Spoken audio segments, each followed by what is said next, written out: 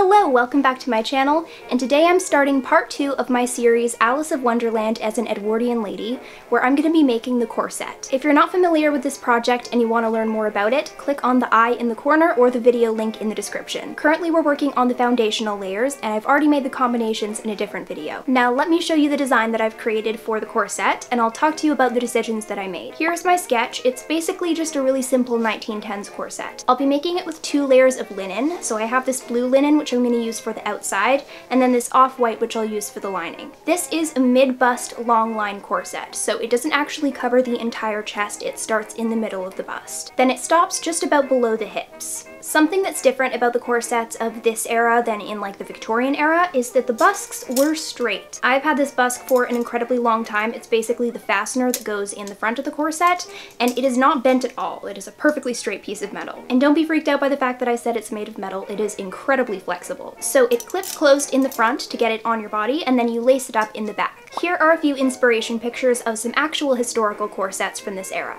A few features of this corset that were very common of the time are, for one thing, the garters. These were basically flexible straps that came off the bottom of the corset that you would clip to your stockings to keep them up. Then there will also be some lace going around the top. That's just a decorative feature that was incredibly popular. And not just for the 1910s, it was popular for a long time. And I'll also be doing some flossing, which is this kind of embroidery method that you do around the boning channels to help keep the boning in place. So fair warning, I have never made a corset before, so I don't exactly know that I should recommend that you follow my instructions because I don't know how this is going to turn out really. I will be drafting the pattern myself, and I've drafted a lot of patterns, but never for a corset, and so I really hope that I can make it fit me nicely. And also there are a few historical things that can't exactly be achieved in the modern day. For one thing, our fabric is literally different now. Like I am using linen fabric, and they would have used linen fabric sometimes, but historically it would have been woven super duper fine, super duper tight, and that's just really hard to find nowadays, partly just because of the style. People kind of like the look of being able to see the weave on linen, and then also, corsets are boned, and the reason it is called boning is because it used to be made of whalebone, which is not a thing anymore. As far as I know, it's pretty much illegal kind of everywhere to hunt whales, so I can't use actual whalebone. So I'll be using the good old zip ties trick, because I've heard that that works great. I used that method in my grad dress, and it works beautifully. So let's see if I can draft and make a corset, shall we? Okay, so I have a kind of weird idea, but I think it'll work pretty well. Corsets are quite finicky, so this might not be what you would expect me to do, but I'm kind of going to eyeball my pattern at first, and then I'm gonna kind of measure the waist, bust, and hip spots to see that they actually fit me if I add them all together, and they probably won't exactly, so then I'll just sort of fiddle with the pieces a little bit until they do fit. So I'm just gonna draw the pattern pieces onto some paper and I've looked at a lot of antique corsets so I kind of know generally what the pieces should look like. Um, and then hopefully I can kind of get the dimensions right. The only thing I am going to measure beforehand is the length because I want it to actually like already have like the hips and the waist in the right spot. So let's just start eyeballing it and see how it goes.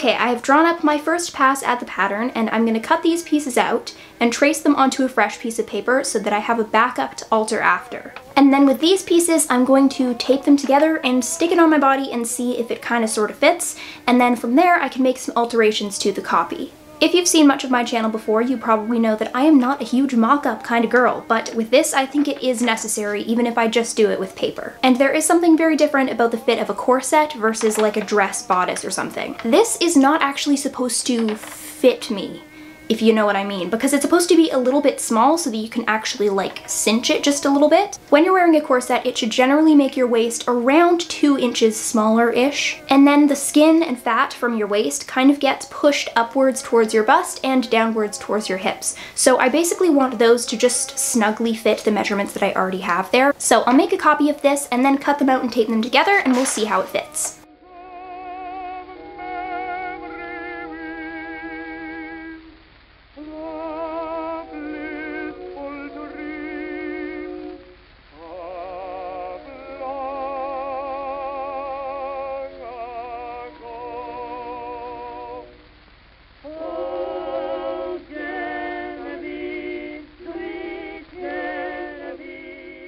Alright, I have my paper draft taped together and this is how it fits. It does pucker a little weird in a few spots, mostly just because of the tape. And also, I can't really actually pull it tight because it's paper and I'll rip it. But I think when this is made of linen, that this should work pretty decently. Now some other things I want to mention about the fit of a corset. You actually kind of want the waist to hit just a tiny bit below sort of where you normally would consider your waist. This is because a big part of the purpose of a corset is sort of to push all of this upward. It's a historical version of a bra basically. Another thing is if you're making a paper mock-up, you can't actually lace it up as I mentioned, and so it is not going to quite seem like it fits you because right now this shape seems too exaggerated and that's kind of because it is. But when the waist is actually tightened on the final corset, everything will sort of move inward and then the hips and the bust ought to fit me better. And a couple things that I'm going to change on the pattern is I don't actually just want this to be straight on the bottom. A lot of Edwardian corsets would have sort of these pieces sticking down that the garters would be attached to, and I'm going to do something like that. So you can't really see because it's in pencil, but I've actually numbered each of these panels so that I can keep them straight. And around panel two is probably where I'm going to make one of those little flappy bits coming off.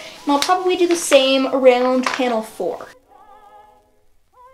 There are five panels, and so the whole thing will have 10, because this is just half of the corset. When I'm cutting out the fabric pieces, I'm going to trace every single piece directly onto the fabric, and then I'll probably give it like a quarter of an inch of seam allowance. And with a lot of the things I make, I just kind of guess the seam allowance when I'm actually sewing, but I want to be sure that the line is actually there on all of the pattern pieces so that I can see exactly how much seam allowance I'm leaving when I'm hand sewing it. Because if it's a little bit too off, then I might mess with the fit of the corset. So I'm gonna add my little little extensions to the copy of the pattern and then we can start cutting out the fabric pieces.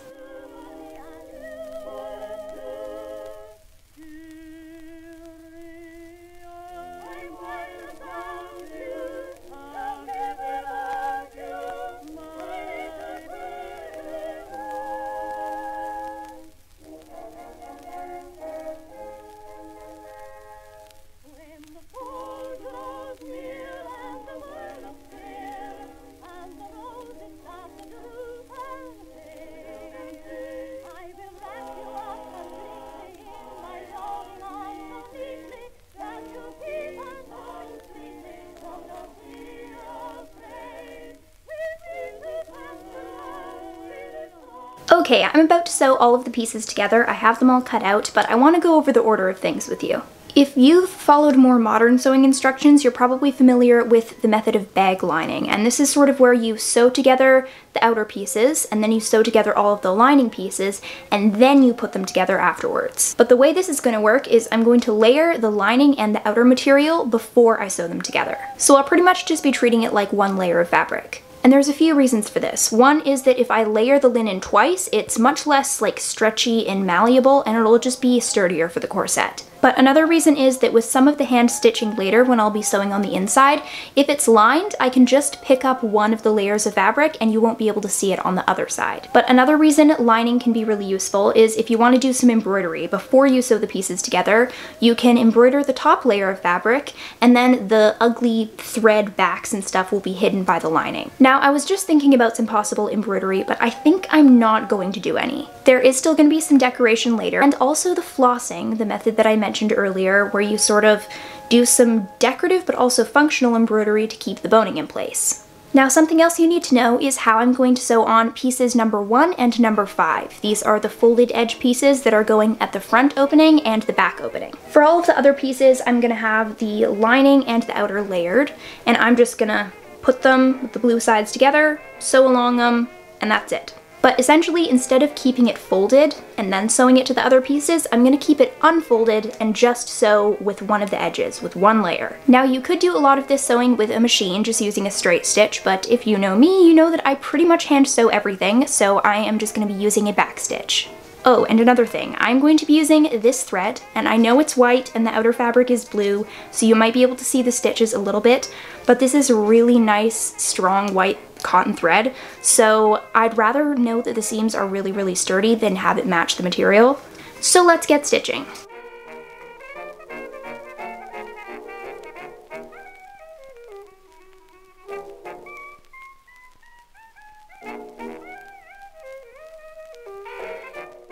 I've sewn together each half of the corset and we still have all of the raw edges exposed. And now you can see how these end pieces do not have the lining. And next we're gonna add the waist tape and I have just this little scrap of vintage edge binding and I'm just gonna iron this out to be flat because I think this will work pretty well as a waist tape. And exactly as it sounds, we're gonna put the waist tape right along the waist on the inside of the corset. So along the waist, I'm gonna pin this waist tape here at each of the seams and that's where I'm going to stitch it into place. And I'm having the end go a little bit over the last seam so that later we can fold this edge piece over top of it and sew that in place and that'll make the ends nice and clean and also hold the waist tape really securely. So that's what we'll do next and then after that I'm going to start putting in the boning channels and I have some more edge binding for that. I'm also going to iron this flat. I know this is very very blue but it's going on the inside so it doesn't really matter what it looks like. I found this at the thrift store a while ago. This is I believe a cotton material and if you don't have any you can make it yourself. It's basically just a really long folded and ironed piece of fabric but it's not going along the grain of the fabric.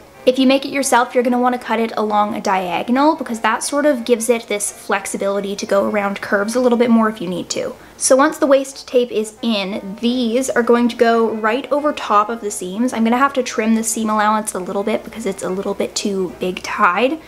Um, but this is gonna go right over top of the seam to hide it, and then the boning will go inside. So I'm actually gonna cut the seam allowance before I stick the waist tape in, that'll just be a little bit easier. So let's get to work, shall we?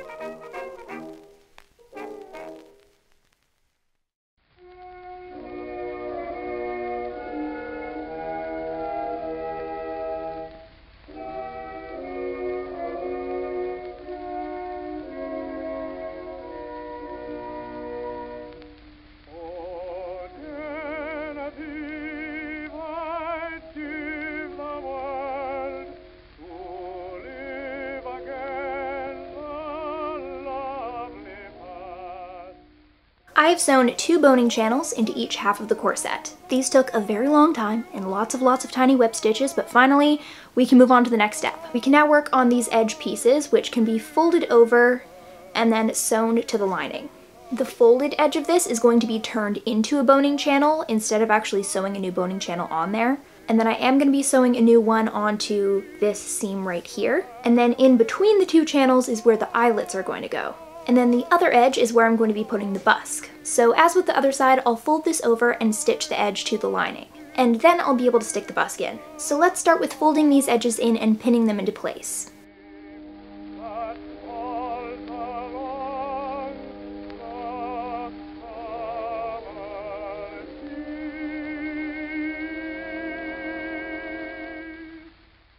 I have a bit of a sewing catastrophe and I kind of know what happened, but also I'm a little bit confused, so let me explain. I have created the same half of the corset twice. These are supposed to be mirror images of each other, and they are exactly the same. Somehow I didn't notice this until now, but it was a very small mistake that caused this. Basically, I just put the lining on the wrong side of the blue fabric, before I started sewing them together.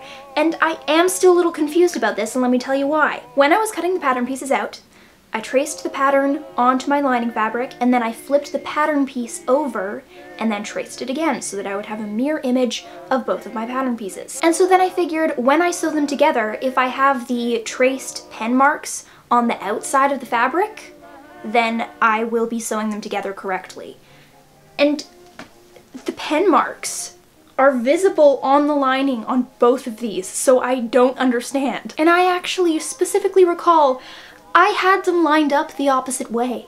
I did. And then I was like, hmm, that can't be right because the pen marks are not visible on this one, so I must have them lined up wrong. And then I, and then I, and then I ruined it. So all of this sewing needs to be undone on one half. One of the halves is fine, but basically on the other one, I need to completely tear out all of my stitching.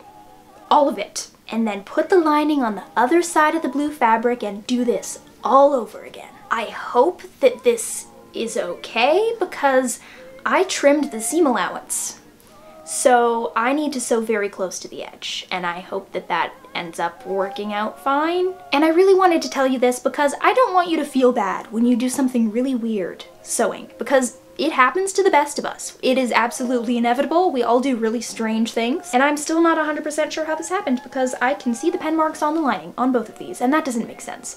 But, um, yeah, weird stuff is going to happen. You need to be ready for it, and it is going to suck. This is very annoying. I don't want to have to resew this entire half again, but it is what it is.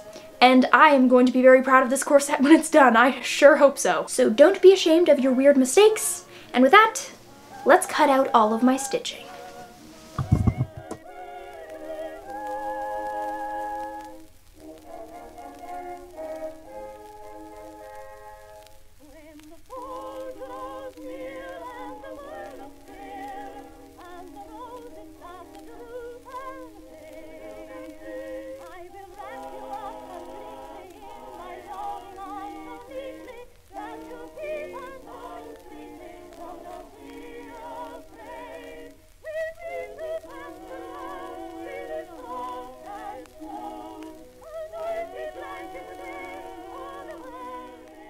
Alright, it's been a few seconds for you, but I've just spent a lot of time completely resewing this half of the corset, and I am finally caught up. The next thing I'm going to do is put in the busk. For this sort of hook part of the busk, I'm going to line it up with the fabric and mark where each of these little claspy pieces are. Then I'll cut little slits where I put the marks right in the fold of the fabric and finish them like buttonholes so that these pieces can go on the inside and then sort of like poke out through the holes. I hope that makes sense. For the other side of the busk, we just have these sort of little knobs that these clasps hook over. So for that side, I'm not gonna need to do any sort of buttonhole style finishing. I'm just gonna use an awl to poke holes where those are going to stick through. These are small enough that I don't think I'll actually need to cut any of the fibers of the fabric, just sort of sticking them through the weave should work well enough, and that way the fabric won't be fraying. Once I have the busk pieces actually put into the corset, I'm gonna sort of sew a little seam right up against where it is to make a really secure channel to hold it in place. So let's finally put the busk in.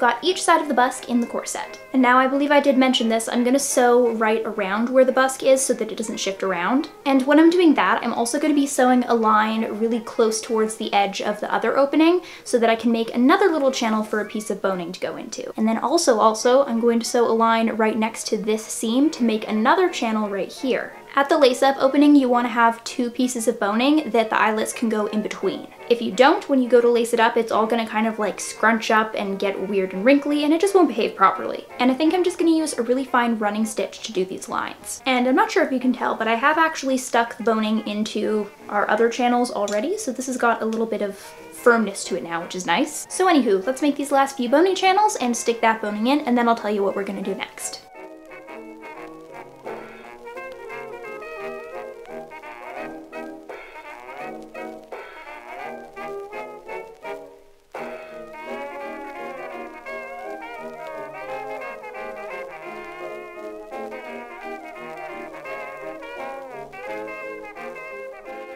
I've sewn those final boning channels and I inserted the boning. I also sewed up the ends of the channels so that the boning doesn't come out. Something I thought was really cool is when I clip the corset together and then twist it, look at the structure. like it makes a beautiful helical shape. You can see that it's not just like all floppy anymore, man. The power of boning, I tell ya. But it's still so incredibly flexible. Anyways, what I'm going to do next is I have this edge binding. I was thinking that I was probably going to have to make my edge binding because I was out, but then I just happened to find this at the thrift store for 50 cents. There's plenty of it, and it happens to be light blue. And I do believe that it's 100% cotton as well. So I'm just gonna sort of go along the edges of the corset to trim these little fraying bits and any uneven spots on the fabric, and then we can start sewing this on. If you've never used edge binding before, I'll show you how it works. It looks like this really thin strip, but you can actually unfold it. And then you can unfold it even farther. One of these edges you're going to put right up against the nice side of your corset, lay it flat and sew along this top edge right there, right where you see the fold. Then after that you should be able to fold it over to the other side and use a whip stitch to sew it to the back. So you're basically trapping the fraying edge of this fabric into the tape. This step might take a while. I want to do it really carefully to be sure I get a really good clean edge, but the finish line is in sight.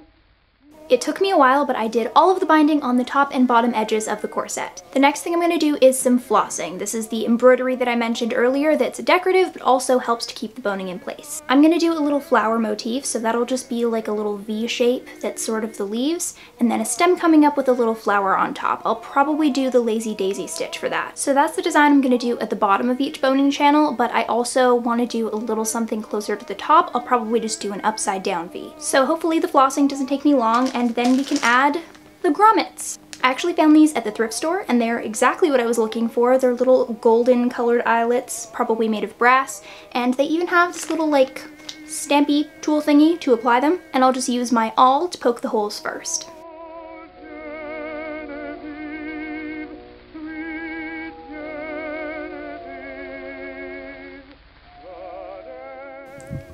Okay, so it turns out I actually can't use those eyelets because the tool that you use to put them in is broken. So I've ordered some more on Amazon last night and they should be here in a few days. So I will put them in then.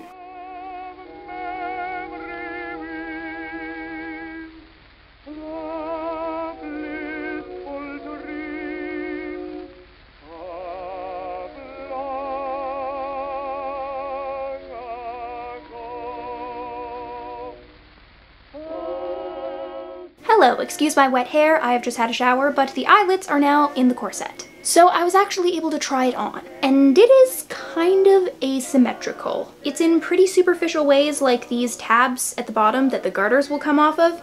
They are pretty uneven, but like not height-wise, they're just kind of like set a little weirdly. Then the eyelets at the back, they are parallel and they're matching up well, but the actual like fabric part is a little bit uneven. One side is longer than the other, just a tad. And then when I put the corset on, the lacing is just a tiny bit wonky, and I think I know why these things are happening. This is the first corset I've ever made, so there were bound to be some problems. Problem number one, I used linen. And it's not that there aren't linen corsets in existence, but just this fabric is a little bit more malleable than ideal for a corset. I believe the ideal fabric for a corset is silk coutil. I could be wrong, but it's a very not stretchy fabric. In any direction, it is very, very solid. It's almost paper-like. But this fabric, being more malleable, meant that when I was cutting the pieces out, they were bound to be a little bit different on each side. So that probably caused some of the unevenness. And then the other problem is the fact that I had to resew one of the halves, which meant that I lost a little bit of my seam allowance. So one of the sides just has a little bit less fabric than the other, which is very unfortunate. However, despite all of these things, when I put this corset on, it does give me the desired silhouette, and the silhouette itself is symmetrical. So it's most definitely not perfect, but I think I'm still gonna go with this corset, and I'll probably make another one in the future, knowing what I know now. But not only has this taken me a whole lot of time so far, it's the first one I've ever made, and I kind of want to use it. So what do we need to do next to this corset? I need to add the garters. That'll be one on each of these tabs in the front, and then also some on the back. I'll sew those really solidly to the inner side of the corset, and then we'll whip stitch some lace onto the top edge, and then we'll be done. I actually just made these little loops with the edge binding that the garters can hook into.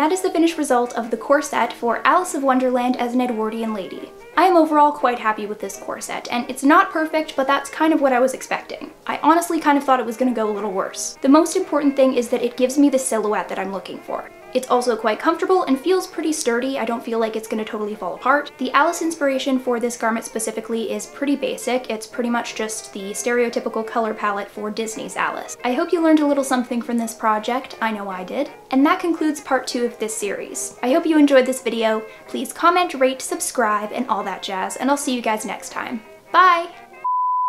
I hope you learned something from this project. Why can't I talk? I actually, I, this happens every time I try and film an outro. I, I don't know why I can't talk right now. I actually am just screwing everything up.